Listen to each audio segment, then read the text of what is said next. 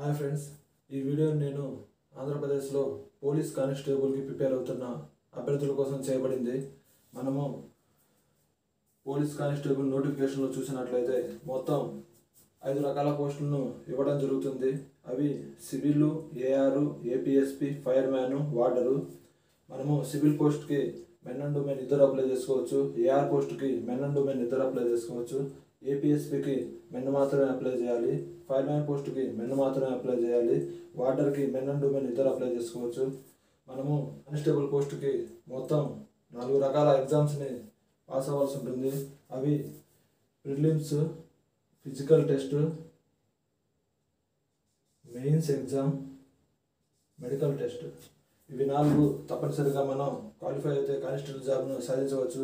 Physical టెస్ట్ను చూసినట్లయితే physical టెస్ట్లో పదహారు వందల మీటర్లు హండ్రెడ్ మీటర్లు లాంగ్ జంపు ఇవి మూడు ఉంటాయి. మీరు పదహారు వందల మీటర్లు హండ్రెడ్ మీటరు లాంగ్ జంపు. ఈ మూడు క్వాలిఫై అయితే ఈ ఐదు పోస్టులకి ఎలిజిబిలిటీ అవుతారు. మీరు పదహారు వందల మీటర్లు క్వాలిఫై అయ్యి హండ్రెడ్ మీటర్స్ లాంగ్ జంప్ ఈ రెండిట్లో ఒకటి మాత్రమే క్వాలిఫై అయితే సివిల్ ఫైర్ మ్యాన్ వాటర్కి ఎలిజిబిలిటీ అవుతారు. ఇక్కడ మీరు అర్థం చేసుకోవాల్సింది ఏంటంటే ఈ మూడు ఈవెంట్స్ క్వాలిఫై అయితే మొత్తం ఐదు పోస్టులకి ఎలిజిబిలిటీ వస్తుంది.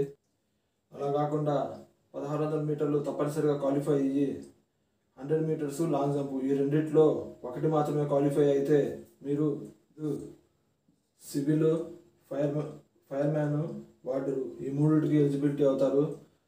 ఏఆర్ అండ్ ఏపీఎస్పికి ఎలిజిబిలిటీ కారు.